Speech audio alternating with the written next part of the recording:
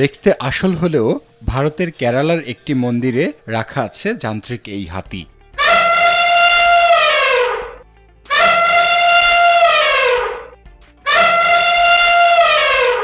মূলত বন্যপ্রাণী রক্ষায় সবাইকে উদ্বুদ্ধ করতে প্রাণী অধিকার নিয়ে কাজ করা আন্তর্জাতিক সংগঠন people for ethical treatment of animals বা পেটার ভারতীয় শাখা সম্প্রতি কেরালার ইঞ্জিরাদাপ্পিল্লি শ্রীকৃষ্ণ মন্দিরকে এই যান্ত্রিক হাতিটি উপহার দেয়।